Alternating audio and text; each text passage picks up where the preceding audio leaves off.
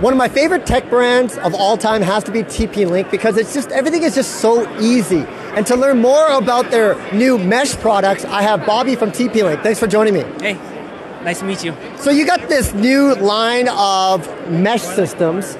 Can you just talk about it? It's a Deco line, correct? Correct. correct. So it's not just only a new product; it's a new technology. So it's a new generation of Wi-Fi called Wi-Fi 7. So, whoa, whoa, whoa, whoa, whoa! Wi-Fi 7. Yes. I just, I just got onto Wi-Fi 6. This is even past Wi-Fi 6. That's correct. We were talking about gigabit internet connection a few years ago when it is wired, right? But now it's wireless. You could get gigabit speeds wirelessly.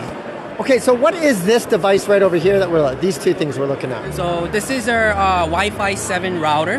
This is our flagship. That's a that's a router. Yes, it's pretty big. Wow. It's got a lot of antennas in it. Twelve actually. Twelve antennas. Yes, correct. Wow. Yep.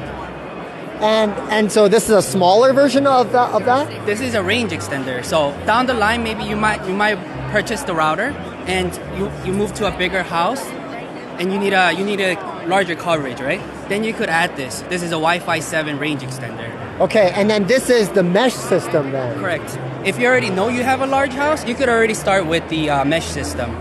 Yeah, not only the mesh, but we have the uh, 5G options, a PoE option, and then um, we have the uh, outdoor option. And you're an Innovation Award winner? Yes, we, we won the Innovation Award for our Deco um, BE95. That's our wi- flagship Wi-Fi 7 router, uh, mesh router. Okay, so for people out there, everybody has to ha- set up a home network. How do you choose between the two?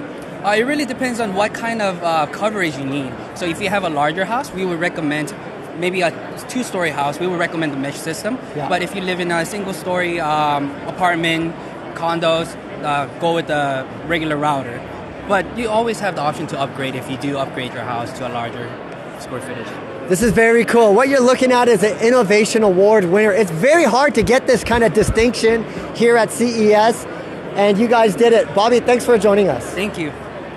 Andy Basrur for Best Buys Blog, signing out.